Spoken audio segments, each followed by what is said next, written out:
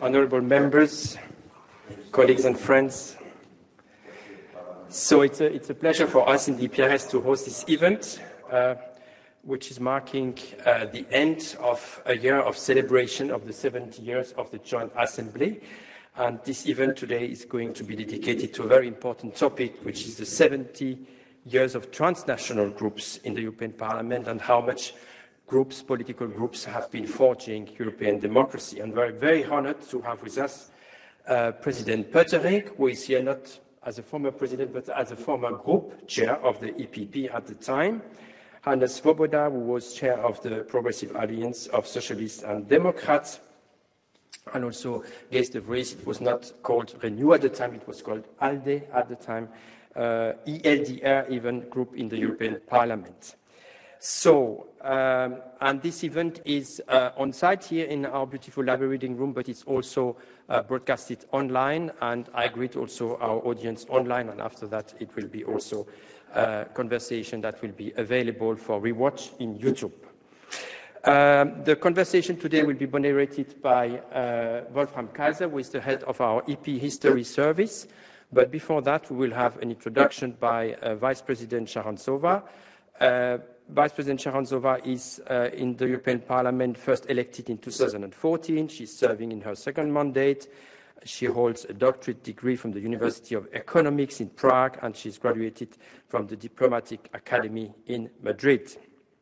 She is a diplomat by career, whose posting included the Czech permanent representation of the EU during the Czech presidency. She has also worked in Strasbourg in the Council of Europe. And in the European Parliament, uh, currently Mrs. Charanzova is a member of the Renew uh, group and rapporteur for the Internal Market uh, and Consumer Protection Committee and also member in the International Trade Committee. So we are very honored to have you with us today and please, uh, you have the floor. Thank you.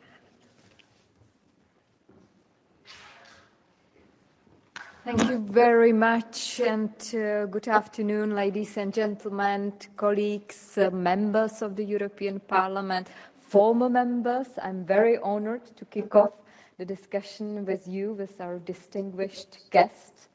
And uh, I have to say that uh, when I received the invitation, I was really surprised about the topic. Uh, we often speak these days about how to push the agenda forward, what we should do when it comes to internal market. We just celebrated 30 years anniversary of, of, uh, of the internal market of the European Union. But it's true that we should look also back how we created the structure, political structure uh, in Europe.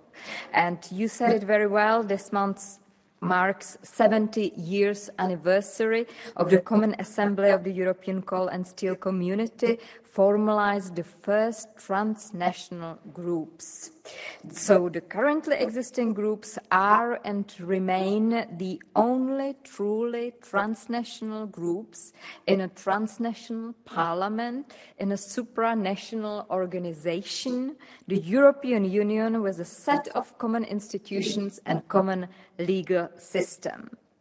Well, many here in Brussels likely think that the transnational character of the group is natural status uh, of affairs, but this is just not true.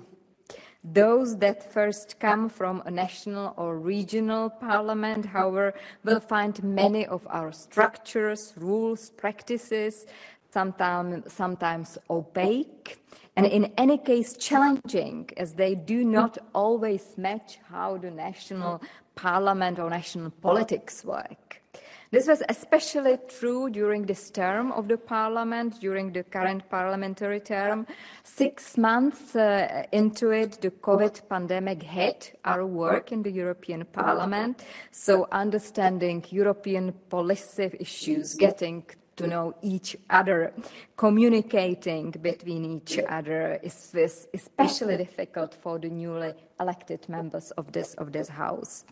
But we managed to switch our parliament to online uh, parliament. We voted for the first time online. We managed to run our business uh, online. And yes, this is the time to to uh, remember what, what happened uh, uh, also in the past. 70 years ago, many issues were similar and uh, others different. For example, most self-selected delegated MEPs from the national parliaments were able to communicate with each other, mostly in French or also in German. English has gradually uh, developed into uh, the lingua franca of the European Parliament today, though I would say that it's uh, Brussels English, maybe for the native speaker, sometimes difficult even to follow, right? Um, but this is the, the, the reality. Uh, communication in the Common Assembly was facilitated by the fact that it was small, with only 78 parliamentarians from six member states, compared to 705 today from 27 member states. At a time in 1953, as a result of the initial exclusion of communists from Italy and France, only three mm-hmm. groups were formed. They were the Christian Democrats, the Socialists, and the Liberals. Although they have different compositions, they have changed their group names over time, these three groups still exist roughly in their original form. And for the moment, they are also still the largest three groups of the European Parliament. This is also the reason why we have one former chair of each of these groups on the podium today.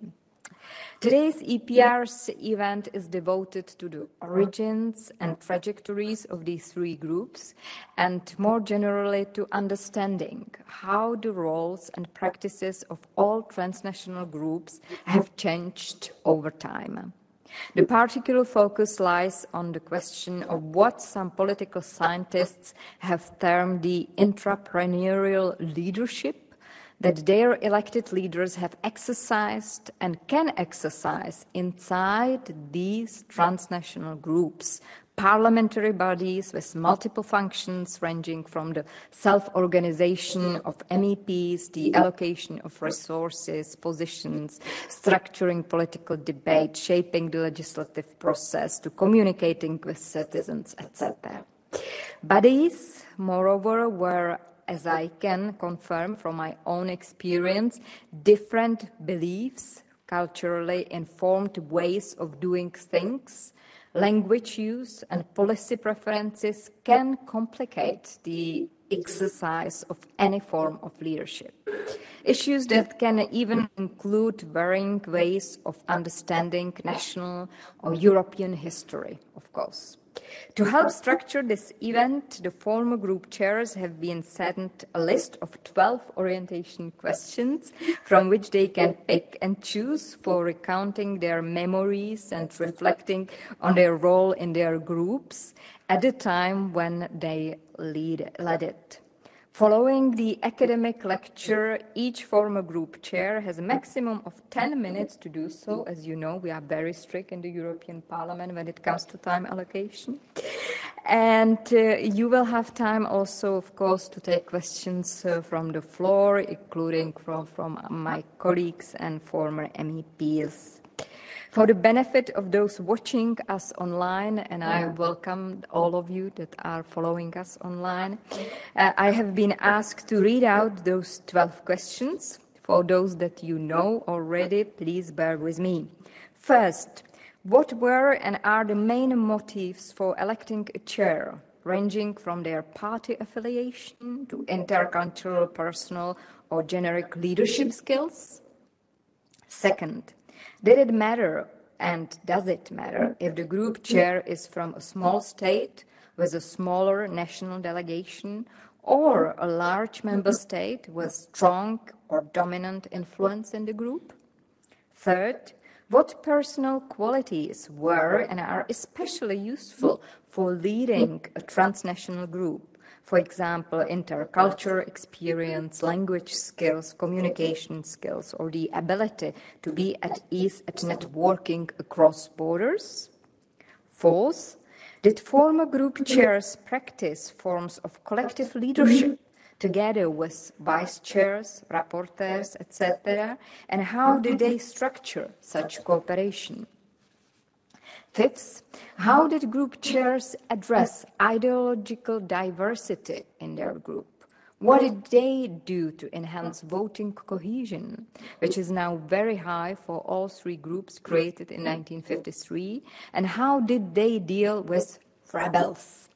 Six, and something that I would be especially interested to know, how did enlargements generally, and especially the, the enlargement in 1995 and 2004 till 7 EU enlargements change group dynamics, for example, regarding integration, integration of ideology, voting cohesion.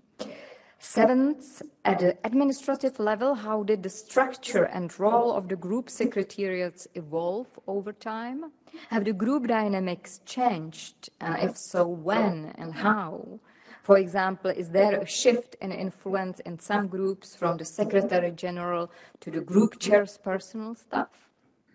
Eighth, how have relations with the leaders, leaders of the associated European party federations evolved over time? Was there or is there a clear mm-hmm. distinction between concrete legislative action and ideological development and transnational coordination of national parties?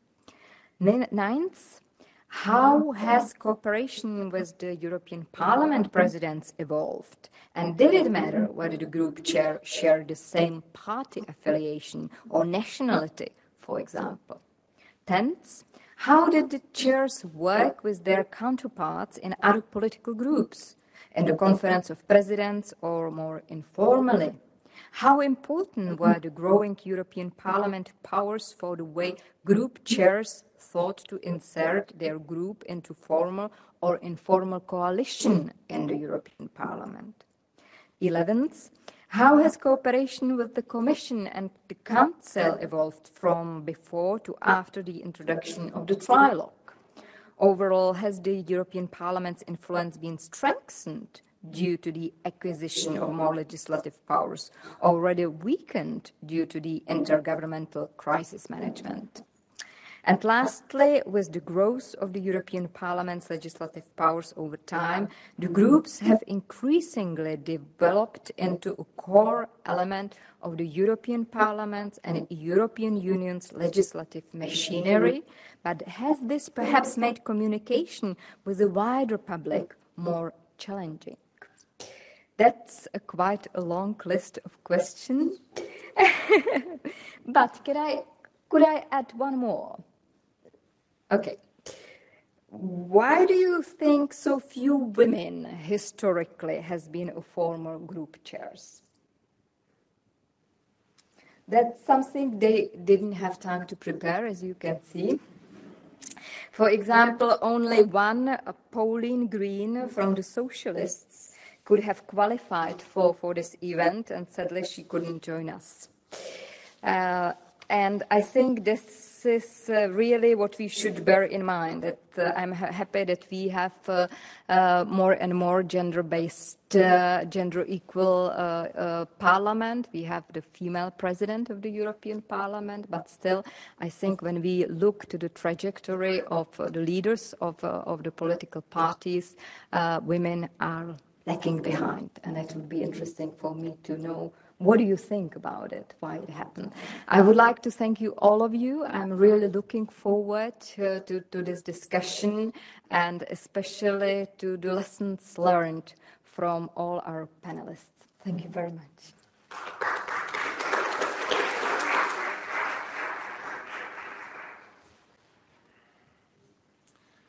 Thank you very much, Vice President Charanzova, uh, for introducing the event uh, so competently and also asking this extra intriguing question, of course. Um, I would like to introduce now the uh, academic who's kindly joined us to take us through the formation of the transnational groups in 1953 and also uh, who's also going to explain a little bit the trajectory of the transnational groups, the surprising degree of stability, for example, of the transnational groups, um, at least in the center, center center-left to center-right of the European Parliament. Jürgen Mittag is professor at the Sports University of Cologne. Surprisingly, perhaps I will explain this in a minute. He studied political science, medieval and modern history, and German literature at the universities of Cologne, Bonn, and Oxford between 1992 and 97. He received his PhD from the University of Cologne in 2000. From 1997 to 2003, he was research assistant at the Jean Monnet Chair for Political Science at the University of Cologne, working with oh. Wolfgang Wessels, and from 2003 to 2010, managing director at the Institute for Social Movements at the Ruhr University in Bochum. Since 2011, he is chairholder and head of the Institute of European Sport Development and Leisure Studies at the German Sport University in Cologne, where he was also awarded a Jean Monnet Chair. Alongside the history of sports, Professor Mittag is mainly an expert of European political parties and party groups in historical and interdisciplinary perspective. And it's, of course, in this capacity that we've invited him to uh, do this introductory academic lecture today. Professor Mittag.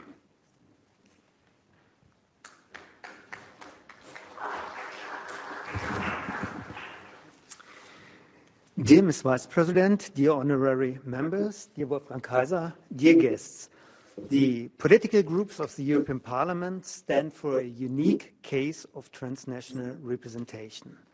As central working units of the European Parliament, the political groups do not only assemble the elected MEPs in groupings that pursue similar goals, but they also bundle the positions of the different national parties represented over here.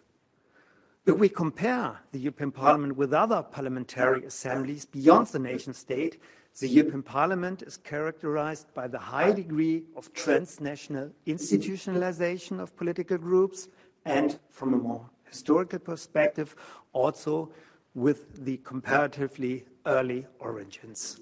While other transnational assemblies either do not know transnational political groups at all, or, as in the case of the Parliamentary Assembly of the Council of Europe, they have a much weaker degree of political cooperation between parties. The European Parliament has been characterized by a high degree of transnational representation from the very beginning. These political groups of the European Parliament are almost as old as the Parliament itself and that is also the major reason that we are gathered over here in view of 70 years of transnational representation in the European Parliament. Since 1953, the MEPs who were initially not directly elected but delegated to the European Coal and Steel Community Assembly from the national parliaments of the member states have formally come together in political groups. Against this backdrop of these very initial observations, I would like to discuss in my first part the general conditions, but also the very specific incentives that contributed to political groups comparatively early in the European Parliament, or better to say, in the Common Assembly of the European Coal and Steel Community. The second part of my talk will then deal with the question what kind of changes the political groups of the European Parliament have undergone in the past decades and how these changes can be explained. Special attention will be paid to the fact that around 175 national parties are represented in the European Parliament, but that the number of political groups has remained largely stable up to the present day. So what explains the comparatively high level of coherence and the stability in the European Parliament. For this second part, you will find a handout on your seats revealing to some extent the very diverse and to some extent also difficult evolution of European Parliament political groups. So for the second part, you may have a closer look at this kind of handout. Let me start with the formation of political groups. The European Coal and Steel Community Treaty, which came into force in 1952, made no provision for potential political groups in the Common Assembly. Thus, there were also no stipulations as to whether the deputies should be grouped along national or political lines. On September 10, 1952, the Common Assembly met for the very first time. The initial 78 members were recruited according to Article 20 of the ECSC Treaty, and I quote it, from representatives of the peoples of the states brought together in the community. They were delegated to Strasbourg from the ranks of the individual national parliaments. This practice established, in principle, the dual or double mandate, which meant that until 1979, MEPs were, without exception, national parliamentarians who also held a mandate in the European Parliament and consequently also showed considerable differences in the mode of delegation. The most important difference concerned the length of the mandate, the distribution of mandates among the various chambers of the national legislatures, and also the modes of appointment. In contrast to the German, the Dutch, or the Belgian system of orientation in line of political strength, the Strasbourg parliamentarians in other countries were elected by a majority of the respective chamber. In Italy, even by a majority, by an absolute majority. For a long time, the veto of the Social Democrats and the bourgeois parties in Italy and France prevented extreme right wing or communist deputies from France or Italy in the European Parliament. While the first rules of procedure of the Common Assembly, which came into force on January 1953, initially only provided for committees, but not for groups or political groups, a corresponding article was added five months later. So the question arises what has happened between January and May 1953? In a letter to Jean Monnet, dated February uh, 26, 1953, the chairman of the Committee on Budget and Administration, the German Martin Blank, stated, I quote, that the majority of members considered that the formation of political groups at supranational level is an essential contribution to foster the work of the Assembly and thus to consolidating the European community. Rather ambitious quote. The committee referred the matter to the Committee of Rules, which prepared a dossier on the different national modes of group formation in the ESC, ECSC member states. After more detailed debates, the committee agreed on the provisional wording, another quote, members of the assembly may form themselves into groups according to their different political tendencies. Remarkably, there was no explicit mentioning of political groups and even more far-reaching consideration, considerations such as, for instance, an article on the financing of political groups. It was to take almost another three months before a final wording on the legal status of political groups was found. At the meeting of the Committee of Rules on June the 8th, 1953, the topic, quote, organization of members in political group was put again on the agenda. Here it was stipulated that, and I quote now again, first, Deputies may form political groups on the basis of their political affiliation. Secondly, the political groups shall be formed after a declaration of formation has been forwarded to the President of the Assembly, which must contain the name of the group, the signature of its members, and the designation of its office. This declaration shall be made public.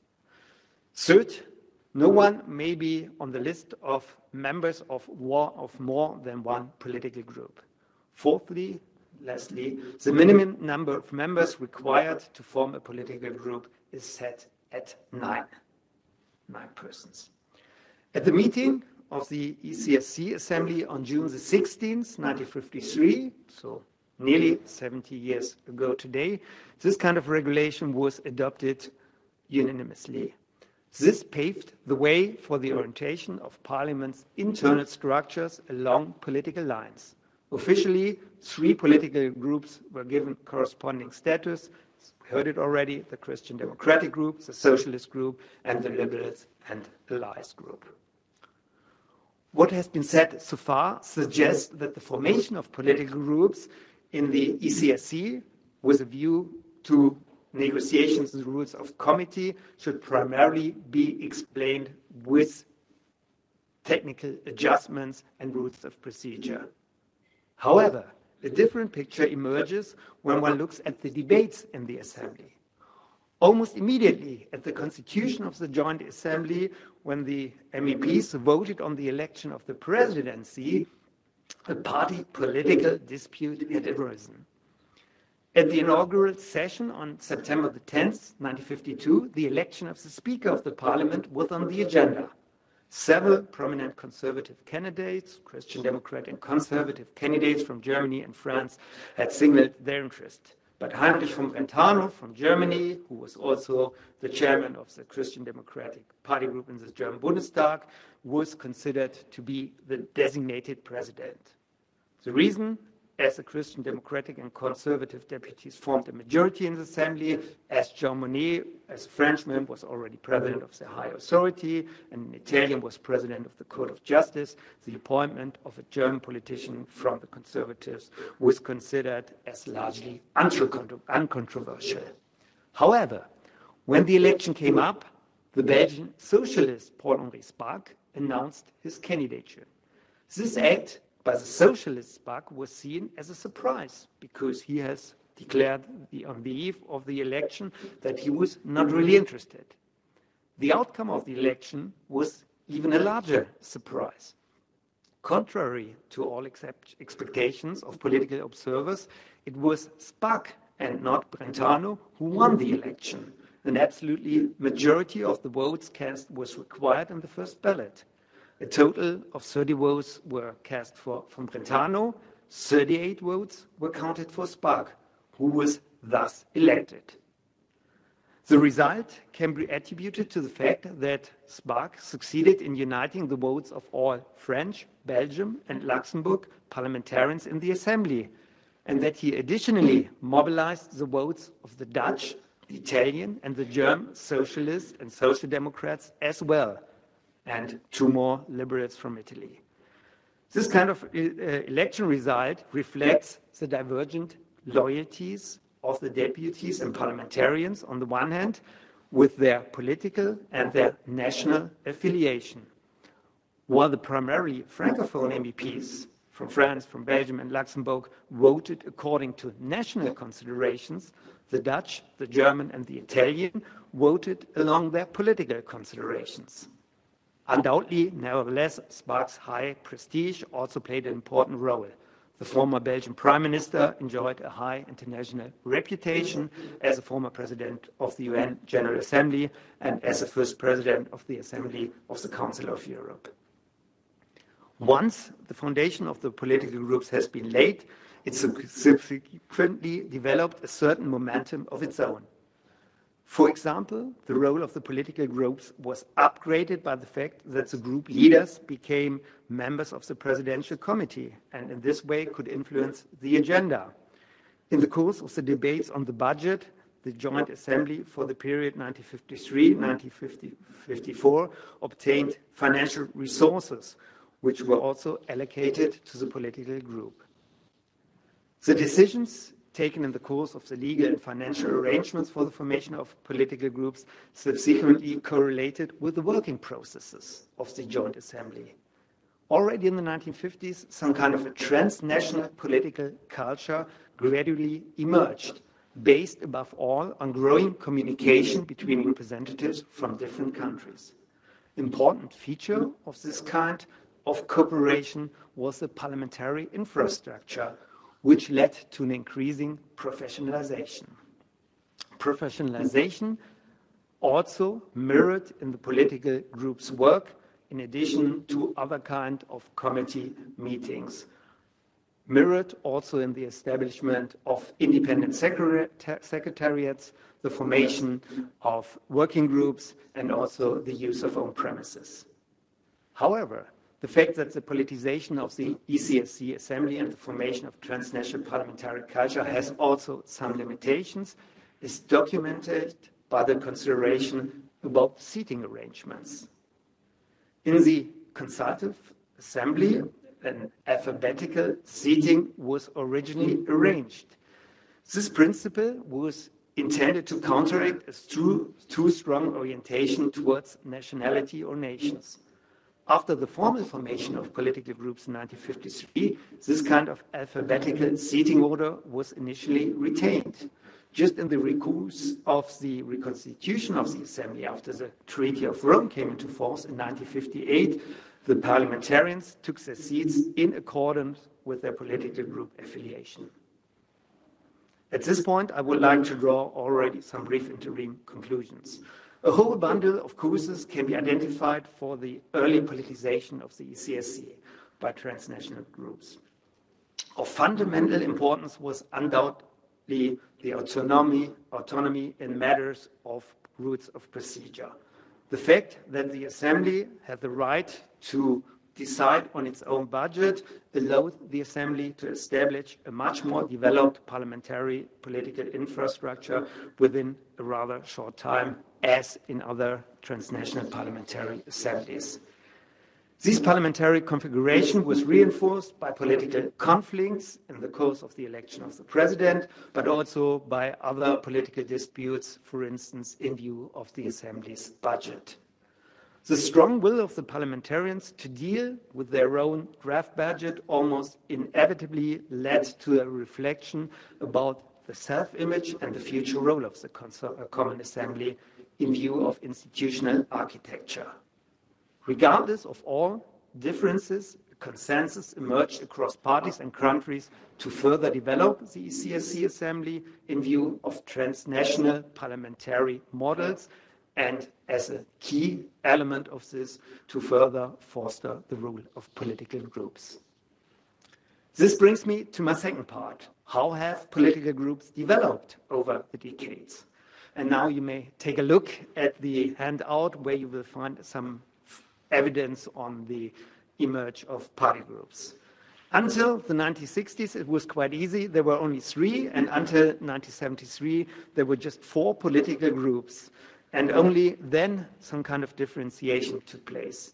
In essence, the first decades were dominated by the Christian Democratic political group, a social democratic political group, and a political group of liberals and allies. The formation of political groups was thus strongly oriented towards classical cleavages and roughly corresponded with ideological patterns in the national parliaments of the ECSC member states. With the exception of two MEPs, all parliamentarians in 1952 had joined one of the three political groups. This balance of power despite varying, varying national election results, remained almost constant until the beginning of the 1960s. The Christian Democrats counted for 50%, the Social Democrats roughly for 30%, and the Liberals for 17 until 22%. The loosest grouping was the liberal ones who neither has established working groups nor any kind of publication issued. After this, the changes came into effect when the French Gaullists left the liberal group in 1963. After a few years of independence, they formed their own group in 1965 under the label of European Democratic Union, initially with a purely national orientation after another change in the rules of procedure. That was possible after these rules of procedure. The enlargement round in 1973 led to further differentiation. The Gaullist group renamed itself the Group of European Democrats for Progress after Danish and Irish MEPs joined. At the same time, a new group was formed, the European Conservative Group, Conservative Group, in which British and Danish MEPs joined forces. In addition, in 1973, for the very first time, a communist group was formed in the European Parliament, Communist and Allies. These party groups uh, formation were made possibly by another change in rules of procedure whereas since 1965 a quorum of 14 MP, MEPs in total had been necessary to form a political group, it was decided in October 1973 that in future only 10 MEPs from three states would be needed. The balance of power of the two largest political groups initially remained unaffected. Majorities just changed when the British Labour Party which had initially not sent any deputies to Strasbourg in the wake of the British exception, abandoned its blockade. Following, at that time, the positive British referendum on EC membership, the party decided to also delegate MEPs to the Socialist group in the European Parliament on July 75. The Socialists thus formed in 75, the largest group in the European Parliament, and remained so until the 1999 EP elections. And now a lot of changes happened, particularly in view of the direct elections 1979. Only 68 of the 198 members from the old parliament had returned to the new European Parliament, which was more than twice as large and now counted 410 parliamentarians. Despite increased transnational party activity in the run-up of the elections, it took time to complete the formation of political groups among the directly representatives of uh, roughly 60 national parties. Many names changes, but the former political groups remained largely stable. They showed a high level of continuity after the 79 elections. In addition to the existing or renamed groups, only a group for the technical coordination of independence was established. After 1984, this group turned out to be the REIN Group group, and in 1984 as well, a new group of the European right was added, which lasted at least for two electoral periods. The decade between 1989 and 1999 saw the most significant changes to date in the European Parliament internal political structure. Communist group split into a short-lived moderate group led by the Italian post-communists and into a class struggle group dominated by the French Communist Party. The erosion of the Italian party system has elementary consequences.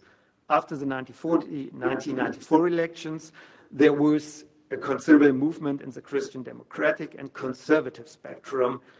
Forza Italia, founded by Silvio Berlusconi, had initially formed you may remember, its own nationally homogeneous political group under the title Forza Europa.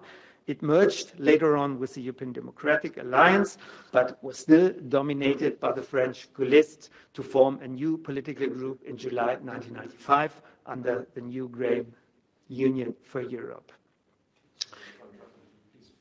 Would, ah, yes, sorry.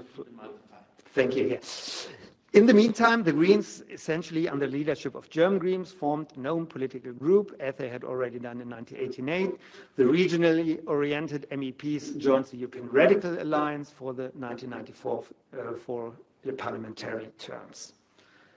After the direct election, there was a trend towards differentiation of the political groups, but however, the overall composition were rather stable the number of political groups even declined.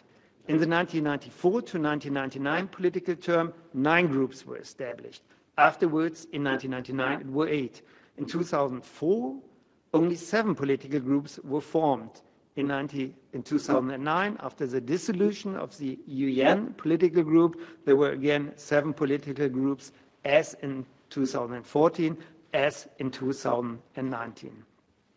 The formation of political groups on the right-wing fringe remained mostly episodic, even if the current ID political group shows a certain degree of stability.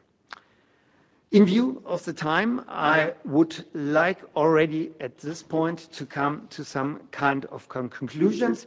You will see the follow-up, how things have emerged, particularly of uh, interest in the Christian Democrat and conservative spectrum, where, especially under guidance of Helmut Kohl, the German CDU managed to put many things under, under the umbrella, but also the limitations of this kind of policy by the separation of the conservatives after the 2009 election.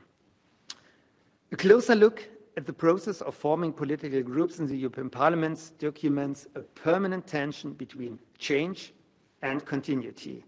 The composition and size of the political groups in the European Parliament is undoubtedly subject to changes, just like the political groups in the national parliaments, which can be attributed to different election results, political reorientations, and strategic behavior. If we disregard the spectrum of right wing and extreme right wing political group, which is characterized by a permanent change, as well as the most latest tension between Christian Democrats and conservatives. An increasing stability has crystallized since the end of the mid 1990s. Particularly the instrument of political groupings, bringing together different European political parties in one political party group in the European Parliament seems to be an appropriate instrument to gather and to collect political forces. Overall, the formation of political groups in the European Parliament is strongly influenced by its procedural rules, namely by the rules of procedure in its particular dimension. Even if they have just a technical function, their article clearly reflects the political will to promote the formation of supranational groups and at the same time to prevent small national units. The rule of procedure of the parliament provides the political group with considerable privileges, which clearly increase the interest in forming such a political group. At the same time, the financial support from the parliament's support is also considerable. Ultimately, it's not only the change in competencies of the European Parliament that is reflected in the development of the political groups, but also the increasing coherence of the group. After the direct elections in 1979, the European Parliament was still a talking parliament, which could grant its parliamentarians a high degree of freedom and independence. With the increase in competence in the area of legislative rights, especially in the area of the first pillar of community policies, the EP has, on the other hand, increasingly developed into the direction of a working parliament with a highly differentiated structure and more professional political groups. This tendency to strengthen and to normalize the parliamentary dimension of the EP would not be conceivable without the political groups which nevertheless mark a unique case of democracy in a transnational democracy. Thank you very much. Thank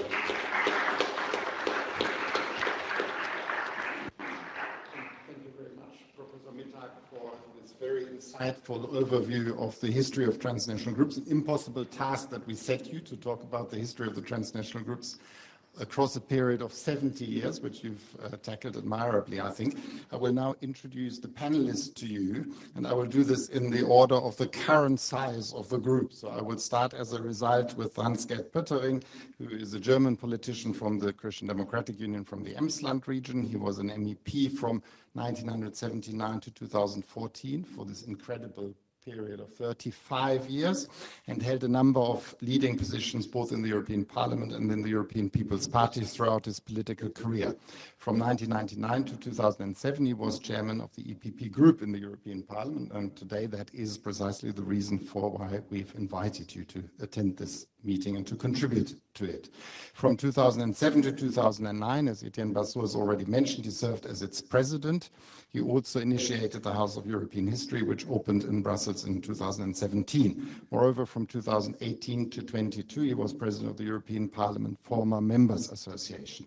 He's published widely on European affairs, including his autobiography titled Wir sind zu unserem Glück vereint, mein europäischer Weg. And I found it over there in the library, and I must say it looks as if it's been massively used and read already. Uh, even in the German version, because I think there's also an English version of your autobiography as well. Until 2018, moreover, he chaired the Konrad Adenauer Foundation and he's now its representative for European affairs. Now, to my left, we have Hannes Swoboda. Hannes Swoboda was born in Bad Deutsch-Altenburg in 1946. After studying law and economics at the University of Vienna, he worked at the Vienna Chamber of Labor between 1972 and 86. From 1983 to 1988, he was a member of the Vienna Federal State Parliament for the Austrian Social Democratic Party. He also served as city councillor for Vienna for many years. He was appointed to the European Parliament after Austria joined the European Union and led the SPÖ list as the lead candidate in 2004 and 2009 in the EP, Hannes Swoboda served on 15 committees, 11 delegations, and as rapporteur on many rapporteur on many reports. He was also vice president of the Socialists and Democrats from 1996 to 2012, and its chair from 2012 until 2014. And last but not least, we've got uh, de Vries, who is a senior visiting fellow at the European Institute of the London School of Economics and Political Science.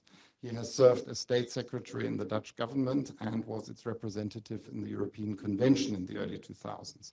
He has been a senior advisor to EU High Commissioner, uh, High Representative, I'm sorry, uh, Javier Solana, and the first European Union counterterrorism coordinator. As a member of the Dutch VVD, Gijs de Vries was chairman of the group of the European Liberal Democrat and Reform Party in the European Parliament from 1994 to 98. In 2010, he switched his political allegiance from the uh, center-right VVD to the center-left Liberal D66. He's a former chairman of the European Security Research and Innovation Forum and a co-founder of the European Council on Foreign Relations. And in fact, it's now in the historical sequence that I would li like to ask Gijs de to start off, because you were chairman in the 1990s, and then we will proceed with Hans-Gert Pöttering and Hannes Swoboda in this sequence. But before you start, I would just like to encourage those who are with us online to ask any questions that you have at any time in the chat function, and we will then um, proceed later on in the questions answer sessions to use some of these questions. If I could just remind you of the eight, maximum 10 minutes for the initial round, that would be really helpful. Thank you. Thank, thank you very much indeed. And thank you very much, um, organizers, for uh, inviting me to share the panel with two such distinguished colleagues. And indeed, uh, with my old friend Graham Watson, uh, another former leader of the Liberal Democrats in the European Parliament, uh, who uh, went on to chair also the European Liberal Party uh, Federation. So uh, anything that I have to say is under his watchful eye. Um, I, I would already invite him to add his perspective later because I think you'll find it fascinating. Um, you asked us all to address a few of your uh, many questions, which, which I'll try to do. I'll focus on the initial set uh, and uh, smuggle in one or two uh, questions uh, of my own. But to very briefly pick up the point on women, uh, when I joined the European Parliament, I joined a group chaired by Simone Veil former president of the European Parliament, and of course, one of France's historic uh, uh, women politicians who's played such an incredibly courageous role in liberalizing the abortion legislation uh, in France. She was an excellent member of the European Parliament and of the group. Uh, let me just say hello to Elmar Brok, uh, who is coming in here, with whom I've had many happy memories, uh, both in, in the European Parliament and in the United States. Close bracket. Um, Simone Veil, but I've also worked very well with Claudia Roth uh, as leader of the Green Group and with Catherine Lalumière as leader of uh, one of the radical groups in the European Parliament. So I think women have always played a very significant role, as they should. I was elected in 1994 after having been a member of the European Parliament for 10 years and having led twice my party in the European elections. Uh, and um, at the time, I was leader of the largest national contingent in the European Liberal uh, group. Your question about cohesion is interesting. Uh, as the uh, uh, introduction has already indicated, ideological cohesion in the Liberal group has always been um, fairly light, at least in the beginning the, the Liberals and Allies, as the group was called uh, before it became ELDR. There were classic liberals, liberal Democrats, um, uh, the liberal Italian uh, party, uh, the Bel Flemish liberals, but there were also parties like the Italian Republicans. Uh, or if you go to uh, Denmark, there was Venstre and Radikale Venstre. if you go to Finland, there was the Swedish People's Party and the Centre Party.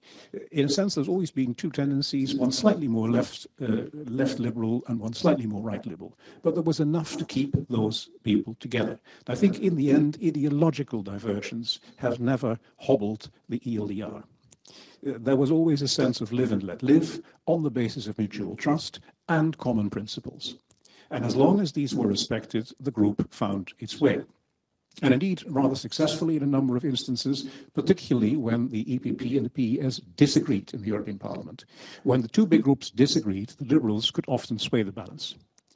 We usually voted with the Christian Democrats on social economic issues, but on human rights, we found much more in common with the Greens and with the Social Democrats. In terms of divergence and, and um, uh, yeah, uh, diversity, The difficult part was the sort of the national traditions that played a role. And I'll give you two examples. Uh, at the invitation of Giorgio La Malfa, who was then the head of the Italian Republican Party, the Lega Nord at some point joined the European Liberal Group. The Lega Nord at the time was a group of small and medium-priced enterprise defenders in northern Italy who was in favor of regional development and everybody was happy with them. Until uh, their leader, Umberto Bossi, uh, discovered the electoral attractiveness of being uh, anti-foreigner. That was completely unacceptable to the group. And he therefore placed himself outside the consensus of mutual trust and common principles. And in the end, the group basically made him leave. So he was removed from the Liberal family. The other instance where national differences played a role in the Liberal group was had to do with Portugal. The Portuguese PSD, um, which called itself a Social Democratic Party, joined the Liberal family, um, but then found out that the EPP was headed by um, Helmut Kohl, and that made much better television uh, back in um, uh, Portugal. So at some stage, the, P, the, the uh, Social Democrats from Portugal decided to switch allegiance. They left the Liberal family and joined the EPP for domestic political reasons. Having said that, I look back with um, a great deal of satisfaction on the period we had in the European Parliament, where a lot was achieved, and usually across national borders, and indeed across parties. There are two lessons learned that I would like to share with you if I look back on the past 25 years. One is that we should never underestimate the enormous success that the European Union has become.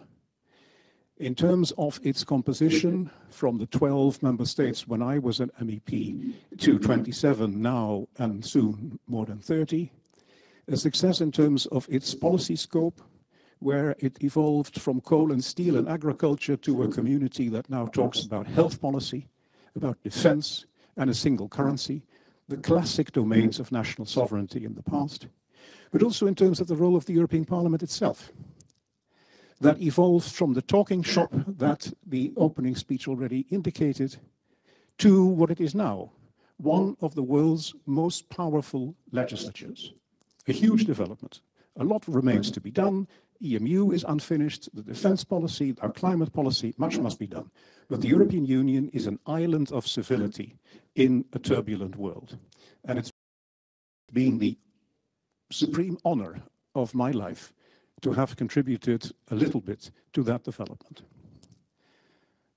But I think there's also a sense in which I have failed.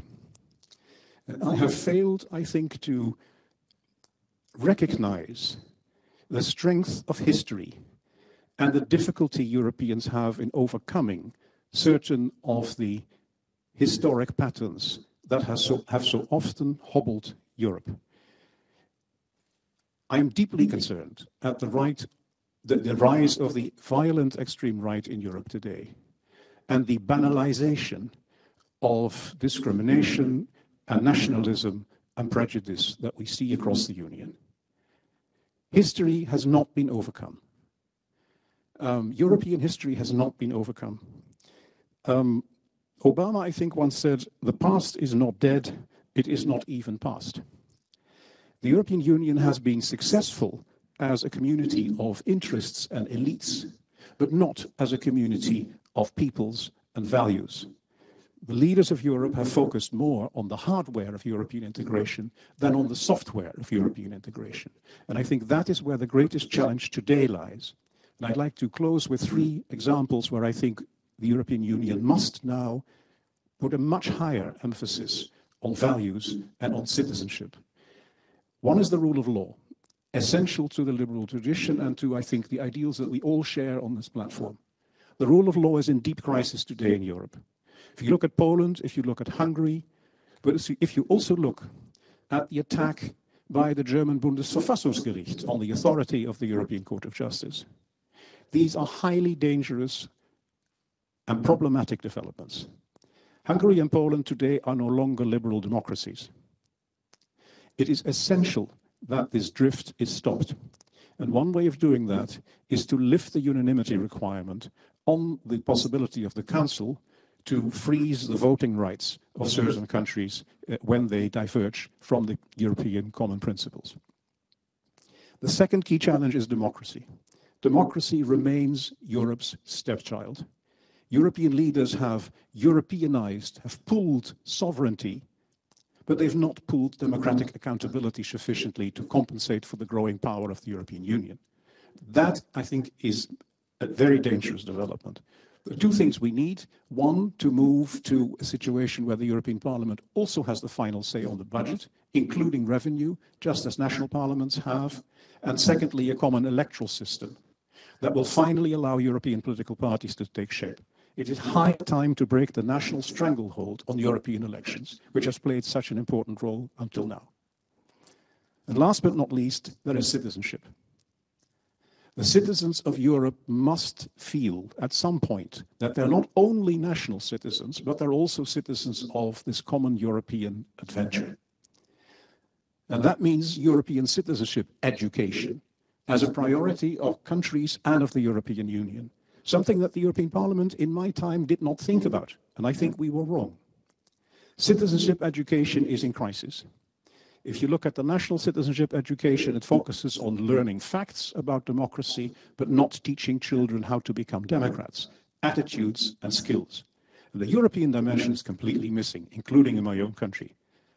Who speaks about the European side of democracy in Dutch schools? Nobody. And that, I think, is a critical problem for Europe. I believe that the next stage of European integration will require that we address these three differences, these three problems. Because what Europe stands for now is the next big quantum leap in integration. And I'll close on that point. It will be at the same time enlargement with Ukraine and countries in the Balkans that will again change the nature of the EU. And at the same time, the European Union will have to be strengthened in terms of its powers and capacity to decide. But the more, the po more powerful the EU becomes, the more urgent it becomes to strengthen its democratic basis. So where I think we have not succeeded as European leaders in the past, I hope that today's generation will pick up the baton and fight for these values. Democracy, the rule of law, and citizenship as priorities for the Union in the next few years. Thank you. Thank, thank you very much, uh, de Vries for these very interesting observations and, and, appeals to contemporary leaders who have influence over EU politics and policymaking. We move on to Hans-Gert Pöttering, who can perhaps also add some actual memories from his time as um, the leader of the EPP group in this period before you became president of the European Parliament. In fact, you're one of the few former presidents of the European Parliament, because that's probably the most important reason for this, uh, to whom an entire biography, not just your own autobiography, but biography has been devoted. Uh, and alone some 100 pages or so are devoted to this period when you were chair of the EPP group. And I would just like to quote from this, quote you, from an interview that uh, Michael Gehler conducted with you, where you say it requires leading a transnational political group in the European Parliament in incredible degree of empathy with the other's position and a high level of willingness to compromise. So I assume these are two qualities that you see in yourself and that you try to apply as group chair to the work of the EPP group. Uh, thank you so much, uh, Professor Kaiser, and thank you, uh, Professor Mittag, for your contribution, and of course, uh, Gijs de Vries. You are very generous uh, with us to give us 10 minutes. I tried to be shorter. When we were chairman, in this case, really chairman or presidents, chairwomen of our groups, we had uh, six, seven minutes. So you give us 10, you're quite generous. Uh, I tried to give some answers to those 11 uh, or more uh, questions. I was elected, as Elmar Brok uh, remembers, uh, the 13th of July in 1999. And for the very first time, the EPP became the biggest group. And uh, to become chairman of a group, the circumstances must be positive that you become the chairman of the group and Wilfried Martens, who was chairman of our group and of the party, of course, EPP party, uh, he left uh, the uh, European Parliament to my astonishment in 1999, and so the position was free. And I was ambitious and uh, I tried to do my work when I was his um, deputy from 94 to 99. I was responsible for uh, for the um, Treaty of uh, Amsterdam, the, the, the, challenges for the European Parliament, our powers, and so on. And then in the last two and a half years until 99, and I cooperated excellently with Johannes Swoboda. I was responsible for enlargement. And so it was a natural process uh, when uh, Wilfried Martens was not present anymore. And Paul Rübig, I don't know when you uh, when you joined uh, the European Parliament. 96, so you, you were there. And Simon Busuttil was, uh, who is Secretary General now of the EPP group, was uh, there as well. And so it was a natural, nat, uh, natural process that I became uh, the chairman. And I will describe the situation in July 99, and then you get an answer to the challenges. Romano Prodi was the candidate of the governments to become uh, president of the European Commission. And although I now have an excellent relation, uh, he is a great person, I was not happy with this situation because he did not belong to the EPP group or EPP ED, ED for the British Conservatives mainly. And, uh, but I was not strong enough in July 99 to prevent his, uh, his election. And so we agreed five points with him before he was elected, and I will mention only three that the members of the Commission have to give priority to their calendar the presence in the European Parliament. And in the past, the commissioners, I would not say didn't care, but the European Parliament was not important. And he agreed. Secondly, that we demanded from him to dismiss a member of the Commission if she or he, the member of the Commission, behaved in a wrong way, corruption or things like that. And there was a case, uh, you all know, with a commissioner from uh, France and um, Santer, his predecessor, could not dismiss the person because a commissioner from France cannot leave the, the commission. And he, clever as he was, before the confidential vote, ask all future members of the Commission, will you step down when I ask you to do it? And the third point is there's always a great discussion about the right of initiative of the European Parliament. In my opinion, this is not a very important point. We asked Prodi if the European Parliament wants an initiative from your side, from the Commission, will you follow this on or will you not do it? And he agreed. There was a little margin uh, legally that he could not say, I will always do it, but he said, uh, normally I will do it, something like that. So we increased our power. Then there was the uh, Nice uh, summit in December 2000, and the result was not very good the figures concerning the new members, members of parliament, uh, voting system in the council, that was agreed. But the meeting uh, was during the night, and you could see that this procedure didn't uh, work anymore. And Elmar Brok was our uh, member or observers in, in many, many uh, intergovernmental conferences. And so we said, we want a new system for the reform of the European uh, Union. And finally, we got uh, the convention under the leadership of Giscard d'Estaing, who, by the way, started in the Liberal group and then joined the EPP, what was a good development for us, guys. So we got, we got the, uh, the convention. And then the great failure uh, of the uh, constitutional treaty in France and in the Netherlands.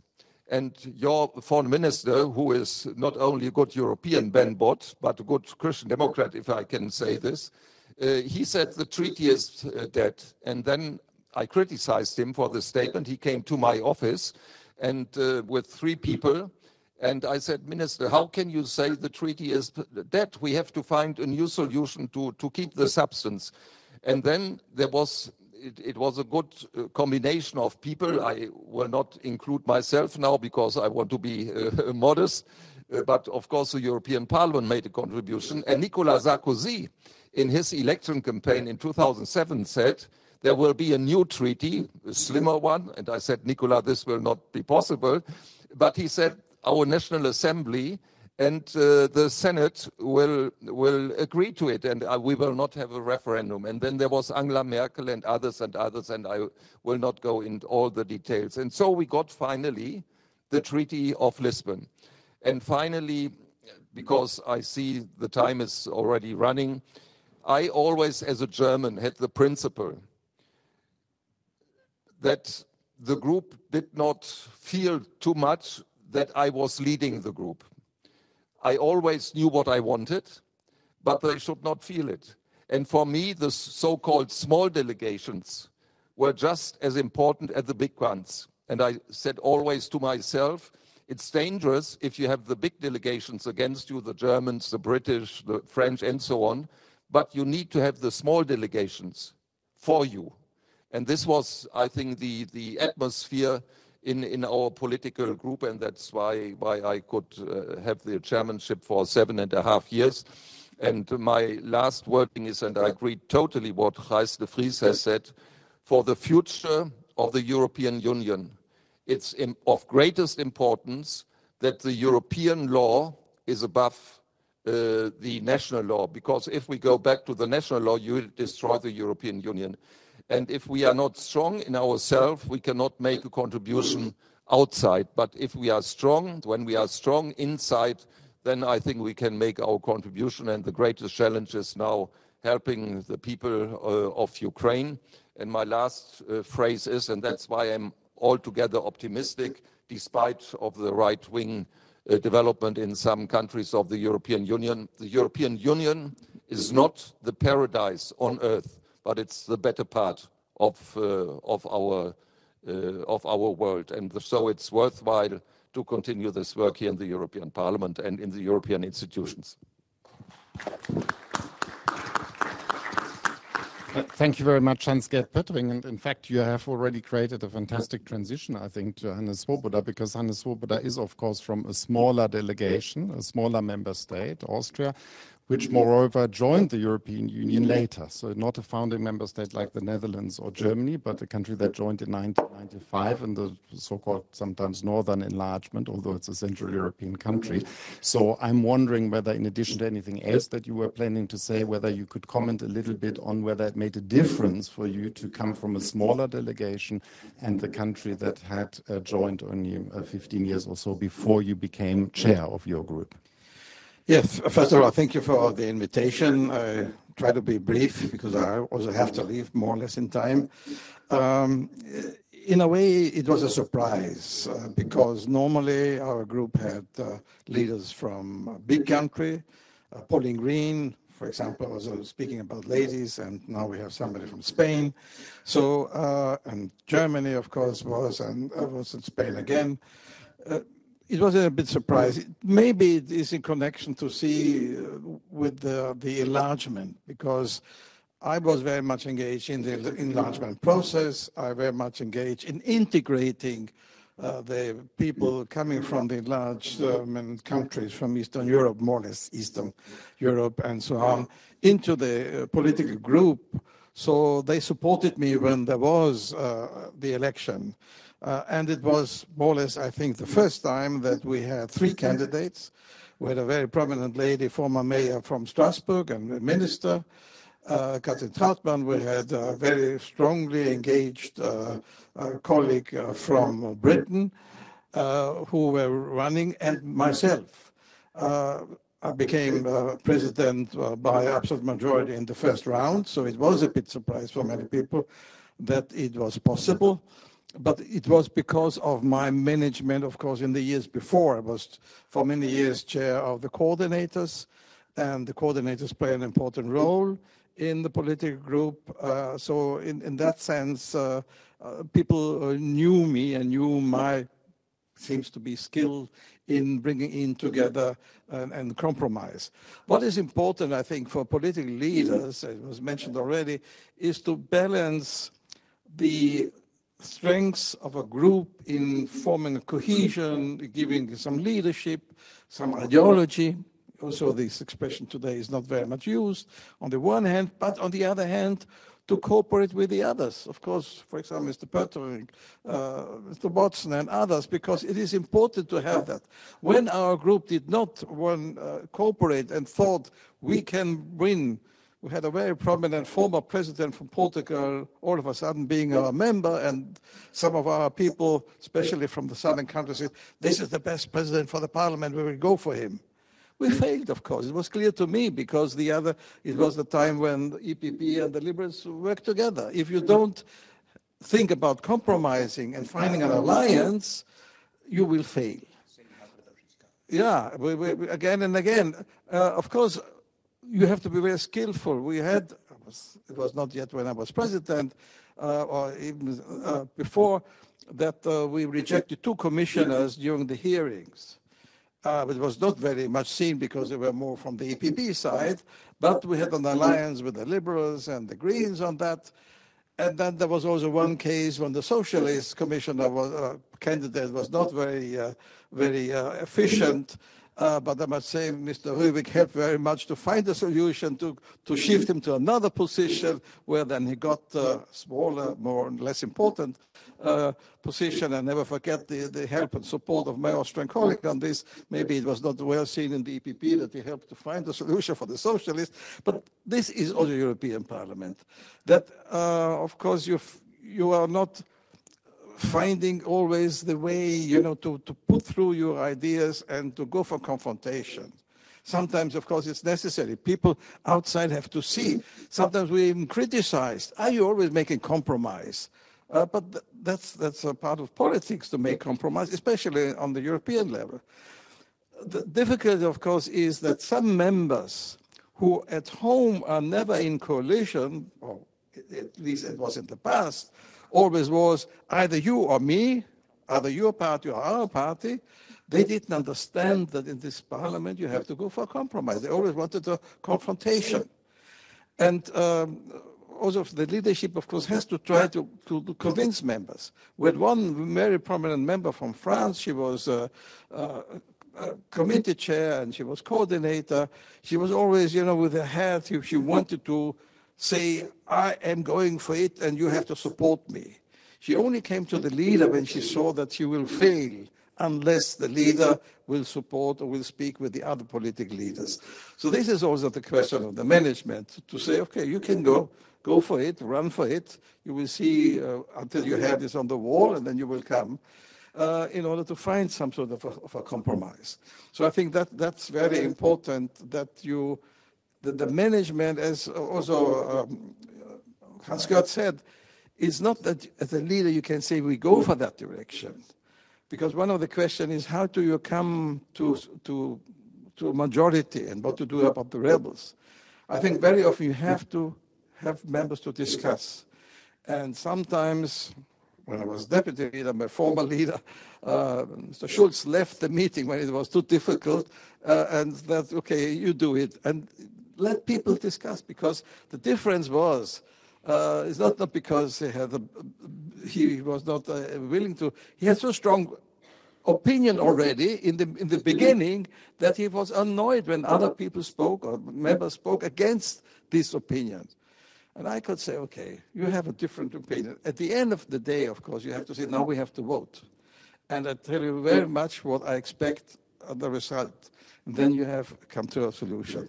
The last point I want to take up what uh, Mr. De Vries said, look, democracy.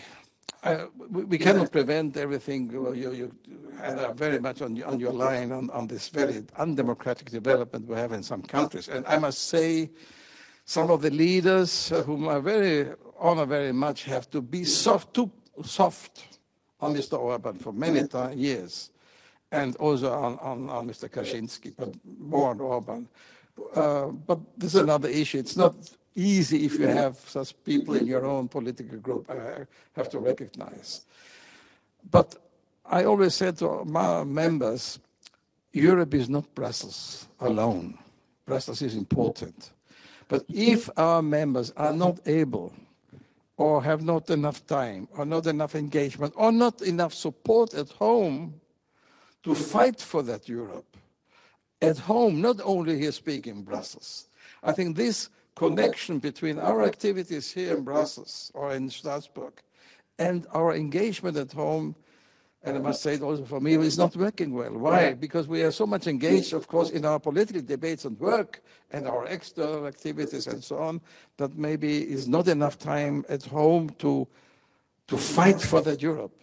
And if we don't fight for Europe, if we take it for granted, we will fail. So I think uh, my, my appeal again is to, to all the members uh, and new members now, please fight for that Europe. It is not, you cannot take it for granted that it will exist.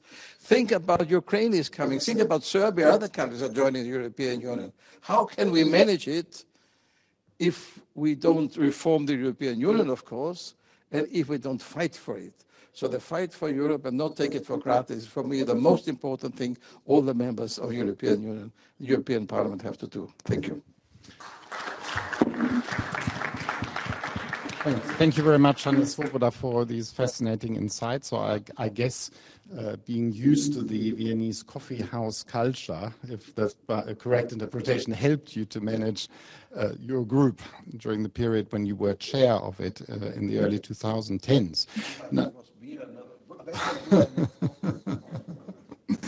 uh, we now have time for, for uh, questions, and I would really like to ask you to keep your questions or observations that you have from your own experience, of course, as short as possible so that the uh, panelists also have time to respond to that. So we'll take three, I would suggest, from the floor and then see whether there are any others in the next round from the online participants. Graham Watson.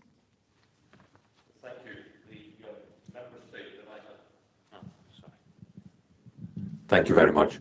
Uh, the member state that I had the honour to represent here for 20 years is sadly no longer here, but I am delighted to have had the honour of serving together with all three of your distinguished panelists uh, and congratulate EPRS on organising this very, very useful meeting today.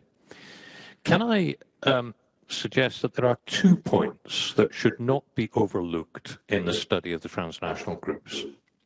The first is the situation between 1979 and 1999, when the United Kingdom's electoral system completely distorted the size of the groups. If the Labour Party was strong and the first past the post system gave them a big representation, the Socialist group was bigger than it should have been, and vice versa if the Conservatives. The Liberals always suffered. And I think it's important that we recognize that the problems with the United Kingdom did not start in 2016. Actually, they were there a lot earlier. The second point I'd like to make, and I've not, have not had the honor to read Hans-Gert's book yet, but Wilfried Martens, in his book I Struggle, I Overcome, writes very extensively, as I do a little in my book, um, Building a Liberal Europe, about the role of the German political foundations in the building of the transnational political families.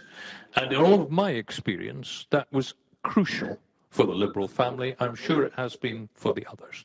It may be that the European political foundations, which Hans-Gert was active in establishing in the, uh, re the, the, regulations of 2003 and 2007, will eventually take over this role.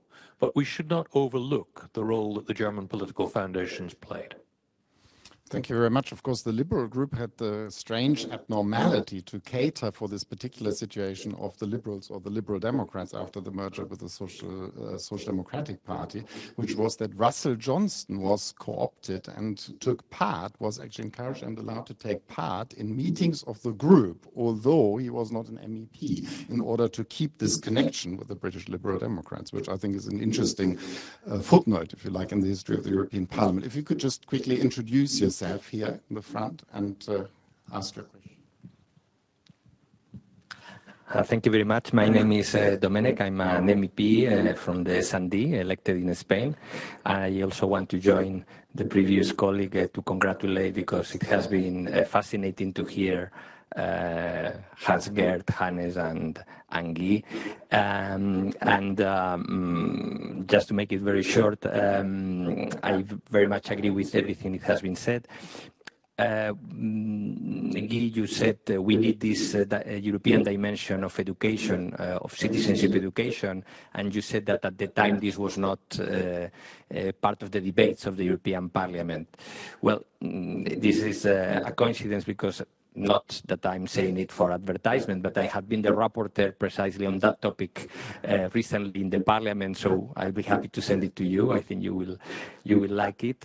But we also talk about the need for a more common electoral system uh, in the European Union. And um, alongside Guy Verhofstadt, we have worked also on the proposal for a transnational uh, constituency, which for the first time uh, passed the plenary here in the parliament after 20 years.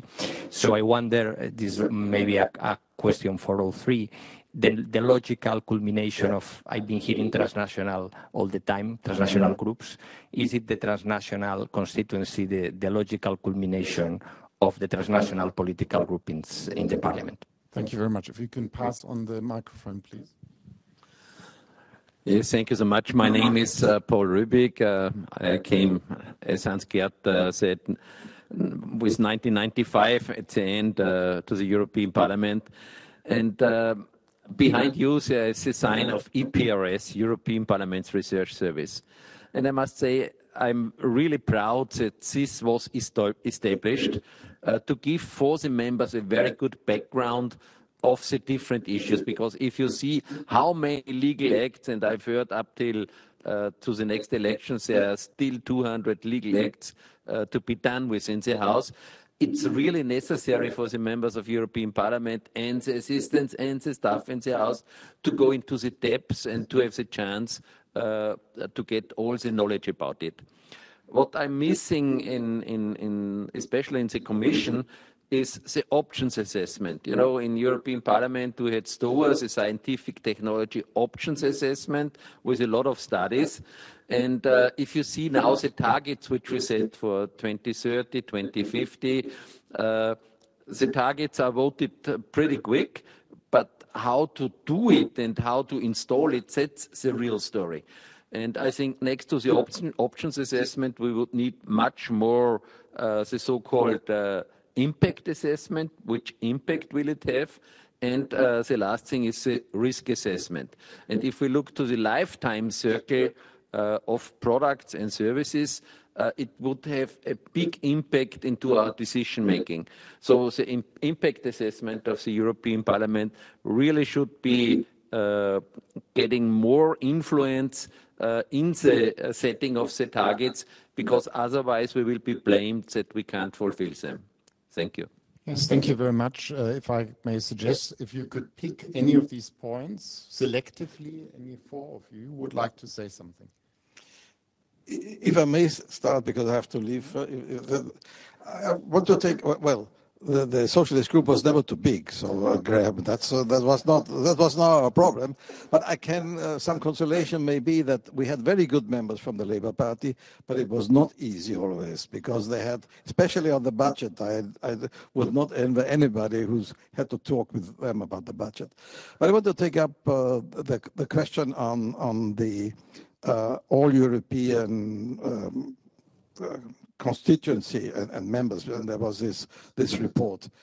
I am critical, not because I'm not strongly for European, but in Austria, Mr. Rübig and myself, uh, we were or are uh, members for all Austria, formally at least. Of course, he's more in Upper Austria, more in Vienna based. Already it's difficult to have Austrian, the general Austrian interest. But the important thing is to have local or regional interest in combination with Europe to convince my citizen from wherever you are in Austria, you have to be a pro-European if you want percent Austrian interest. European interests are not different from Austrian interests. If you look to the war, if you look to climate change, if you look to any other issue, you, you have it or whatever research, for example. Now there's the, the Austrian government says uh, we have to restructure the budget. We cannot ha have more money, but they never say from where. We as MEPs have to say yes. We have. We need more budget, not because we want to be the big uh, spenders, But already on, on research and development is not enough what we spend in order to be competitive. And even if and Austrian interest it is. So for me, of course, I would uh, live also with a different election structure. But for me, the important, most important thing is to combine local, regional, and national interest with the European interest. There is no difference in it. And we have to convince our citizens not to see a difference. They up there in Brussels. No, it's us in Brussels and us in Austria or Germany or the Netherlands or wherever. Thank you. Yeah, may, may, if you allow me, Reis, um, a positive point for Johannes Swoboda and then a critical one. I start with a positive one. I totally agree what you have said. And in the German language, uh, I always say Heimat, Vaterland, Europa. Heimat is quite emotional, means where you are at home, where you have your families, your friends, and so where your grassroots is. Then you are in a nation, you are living in a nation, and at the same time, we are uh, Europeans. But if you only think in the dimension of your Heimat, of your home, you will not defend it. If you think only of your country, then you become a nationalist, and nationalism uh, leads to war. And if you only feel as a European, then you have no roots. So I think we, we agree, and that's why I was for a long time chairman of my party in the region of Osnabrück, and my constituency, so to say, was Osnabrück-Emsland. And I think this gave me the basis to be near uh, to the people. Secondly, what Johannes said, and I want to be a little bit humorous, I hope I succeed, the socialists could never be big enough. I really was annoyed, Johannes, that, and when you had your, your chairwoman, Pauline Green, a lady, and she counted for three. So, so she counted for three. And if you take the names of these buildings, Paul-Henri Spaak, I have a great admiration for him. And then Altiero Spinelli. I have a great admiration for him. But why not one socialist and Konrad Adenauer, for instance? And I wanted to stop this. And that's why I finally broadened, we broadened our group. That was not the only reason. And uh, so brought uh, the others together. And my, what Domènec uh, has said, I am in favor of a European uh, uh, election system but I would be reluctant to have too many European constituencies. I know to find a compromise, you must be a little bit open to it, but generally the people are elected in their regions, and I think we should not uh, go too far with that. And my last point is, uh, thank you, Graham. We sat beside each other when Pat Cox uh, had been elected uh, as president of the European Parliament, and it was a good time, and with you, Paul, of course, uh, as well, and I agree to this uh, impact assessment. Uh, pardon? Okay, there are cert certainly other other things where we can criticize you or thank you, but this is vice versa. okay. Esther Fries? Well, just just a, a, footnote on, on the common electoral system. There are many different roads that lead to Rome. So there is not, I think, one ideal solution in terms of Europeanizing the common European electoral system. But the current situation, I think, is outdated. Uh, for the reasons that Graham mentioned, the, the sways in the British electorate have a disproportionate effect on the European Parliament, but also for the general reason that the European Parliament elections are held hostage by national political structures and national politicians that do not want to see the rise of a competing center of democratic power. And I think this is the underlying uh, reason why so many national leaders are not interested in changing the European electoral system. Again, there are different roads, uh, and we can talk about the technicalities, but I think it is an issue worth pushing. It's time to emancipate the European parliamentary elections from the national stranglehold retaining a link with national political reality, because democracy in Europe is always dual. It's rooted in national history, in a national uh, ways of thinking, but at the same time, we need a common European approach. The two have to go together, just as at some point our regions came together and formed nations. Uh, if that's possible, the next stage, I think, is also possible. Thank you. We started a little bit late, so we'll just uh, have to end a little bit late so that we have a chance perhaps for two or three questions from the chat on the online chat to be asked as well. Gilles Peters? Yeah. Um, thank you. Thanks. Uh, we have one, I think, a very important question uh, that really connects. Um, does it work? Yeah? Okay. Uh, we have one important question that connects to the um, debate that we just had uh, from Daniel Danahato. I hope I pronounced it correctly. He asks, how can European citizens be better involved in European democracy? And what can European political parties do in this respect? That's it for the online. Is there another question from the floor here? No, then otherwise I would invite you to ask this very important question, which also perhaps points to the elections for the European Parliament next year already, the next elections. What's the role of citizens? How can they be involved more if they want to be involved? And how can perhaps European integration become more meaningful for citizens?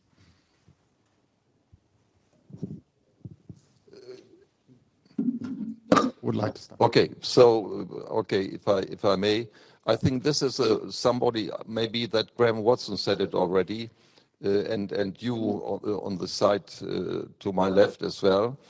Uh, I think the national politicians on the regional level, on the local level, on the national level, they always have to understand that European politics uh, is part of our local, regional, and national politics. And so, if, if we, when we meet our electorate, the people, I think we always have to make this clear. And I am advocating strongly that uh, history must be part of the education in our schools because with the new media, I'm not so familiar with the social media, but anyhow, I can, can see the poli political impact. If you only see details and you don't have the full picture, then it might happen that uh, the young people don't understand our history and then bad things might might come back and we see it in Russia. They have not really reconciled uh, their history with Stalin and with the totalitarian communism. What we I think in the Germany managed not 100% with National Socialism but I think we understood our lesson. And so why why history for me is so important, and this is a contribution, hopefully, to European citizenship as well. Well, if I may add before I skip out of the debate, two elements. One, um, there are some countries where there's a clear priority a member of the national parliament is much more important than a member of European Parliament. And if you have the chance, you run for the national parliament, and only as an alternative you go, and this has to be changed. You have to change the political attitude towards your member European Parliament. The second issue, I think, which is important, is our translation of what we do to the citizen if you listen very often, even, that is also, of course, for the media, but also for members, politicians. If we speak about in our technicality, in our Brussels language and idioms and talk, people don't understand. If people don't understand, they will not be involved. So uh, very important is education is, is, an element of it. But how want to educate or train people if you don't explain in simple terms what you do we very often overestimate what people think or what people understand. And I think one, uh, I always appeal to myself and to the other colleagues, please speak in a way that people can understand, and then they will follow you. Then they will also be engaged. Uh, for me, that's a very important point, and we very often forget about that. Sorry, I have to run to get my flight back to Vienna. But thank you very much for the invitation, and uh, sorry for my colleagues to, to leave them alone, but they have more space to talk. Thank you. Thank you. Um, and I think Jürgen Mittag would like to say something from an academic perspective as well. Just one additional thought that is also contributing to the question, but also what has been discussed on the panel over here. When we talk about European democracy, we have at least three different dimensions. We have the European political party groups, in the European Parliament. We have national parties and we have the European parties. And what I consider as particularly interesting is the composition, how things are merged. Of course, the political parties at European level are not that relevant, but the European Parliament has managed to integrate different kind of political parties within the political party groups in the European Parliament. That is what I tried to highlight. The liberals, including central parties as liberal parties, at least for some time, the Christian Democrats and the conservatives under one umbrella. And we can even see it with the Green Party. It's a strange composition of green parties or ecological parties and more um, regional parties in one party group in the European Parliament. But the structures seems to be highly feasible to take up this kind of overall composition. And I think this is the strength of European democracy, but also a challenge to make the people know this kind of unique European composition. It's flexible to some extent. It's difficult to explain because we're talking about different stages and different levels of political will formation and decision taking, but it shows nevertheless a high ability of European democracy to come to consensus at the very end. And that is mirrored in the 70 years of political party groups over here in the European Parliament. Thank you very much, Jürgen Mittag, for these excellent final words. I think uh, I will now have to close this event. Uh, next year, we have the European elections, the next European elections. We don't know the outcome of the elections. Uh, there will definitely be changes in the composition, perhaps in the names of some of the groups but there will very likely still be the transnational groups. So the transnational groups, I think, are very important, uh, not just from a perspective, political perspective, but also from a research perspective to understand the operation of the European Parliament. And they have achieved a fairly high, for the reasons that we've discussed, a high degree of continuity and stability. And so it remains to be seen, of course, what they will contribute to in the next legislative period in terms of the actual politics and policies of the European Union and the European Parliament in particular. And uh, we are already excited, can be excited now, I think, and can't wait to see uh, what exactly the outcome of these elections will be in terms of the, uh, their impact on the transnational groups in the European Parliament. So thank you very much to everyone who has participated online and everyone in the room, both current and former members and anyone else who participated. But particularly, of course, my thanks go to the three panelists, Gijs de Vries, Hannes Swoboda, who has just left, of course, and Pöttering as former today as former uh, chairs of their respective groups, and to Jürgen Mittag uh, for his excellent academic introduction to the topic. Thank you.